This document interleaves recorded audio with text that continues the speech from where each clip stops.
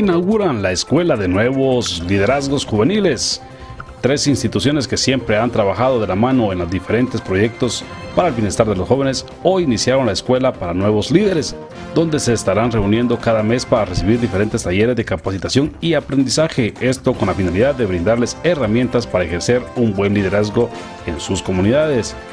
La Procuraduría de los Derechos Humanos, Colectivo de Protagonismo Infanto Juvenil y el Observatorio de Salud Sexual y Reproductiva se unen una vez más para lograr un beneficio para los jóvenes. Tenemos la información con la licenciada Tracy Sarabia de COPIG y con la licenciada Cecilia Aguirre de los Derechos Humanos.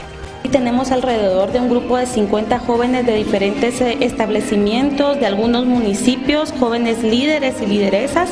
Y pues esta es eh, una escuela que se apertura el día de hoy, es una escuela para formación de nuevos liderazgos.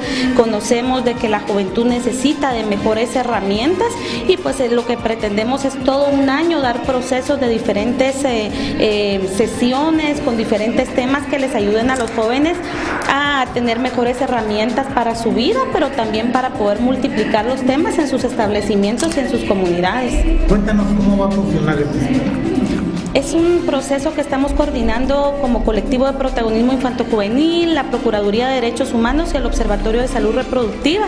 Eh, va a funcionar un día al mes, los mismos jóvenes van a venir un día cada mes, eh, va a ser sesión completa y se les va a hablar sobre participación ciudadana, derechos humanos, los derechos específicos, prevención de violencia y también incidencia política para que ellos puedan eh, tomar en algún momento algún liderazgo en la comunidad. Licenciada Cecilia Muchas gracias por la oportunidad, un saludo especial para todos. En efecto, este día estamos eh, inaugurando la Escuela de Nuevos Liderazgos Juveniles, considerando que el 70% de la población son jóvenes y también conociendo las graves dificultades que los jóvenes atraviesan, considerando que en Jalapa ocupamos el primer lugar a nivel nacional de jóvenes que ni estudian ni trabajan. Y luego de una profunda investigación que realizamos es como nace la Escuela de Nuevos Liderazgos Juveniles donde pretendemos instalar capacidades en los jóvenes de los siete municipios del departamento para prepararlos para la toma de decisiones cuando ya ejerzan su vida profesional.